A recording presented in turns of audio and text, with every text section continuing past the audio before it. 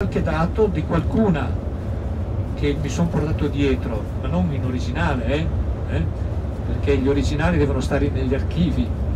Allora abbiamo Roverbella, a Roverbella ci va il 28, 28 febbraio 1886 e siamo a un anno dopo il suo ingresso a Mantova. Allora, a, a Roverbella quanti abitanti ci sono? Proviamo a guardare subito. Quanti sono gli abitanti adesso di Roverbella? 19.000 Quanti? A, a- a quel tempo erano 1370. Erano ben poche, eh? C'era il parroco con il curato e il parroco dice ogni domenica all'ora stabilita si spiega la dottrina cristiana, sarebbe stato il pomeriggio, me lo ricordo ancora anch'io, eh,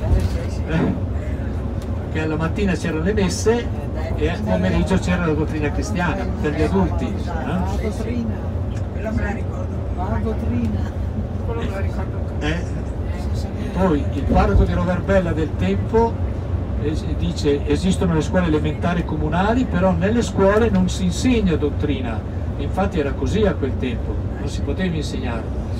A Roverbella c'era la confraternita del Santissimo Sacramento. eh? E poi cosa possiamo dire?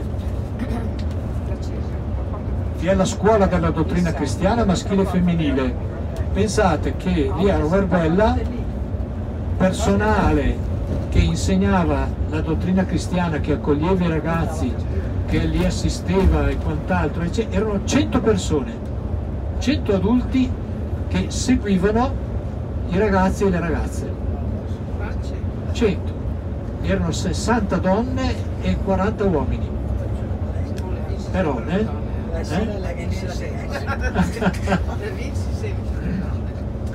Eh? E il vescovo Sarto, finita la visita, ha mandato una lettera al parroco dicendo le manifesto la mia compiacenza e tutta la mia contentezza per il molto bene che ho trovato a Roverbella in tutte le parrocchie della Forania, perché Roverbella c'è c'è andato non proprio come ultimo, ma come penultima parrocchia, perché prima è andato per Loco, Castiglione Mantovano, e a Canedole, eh?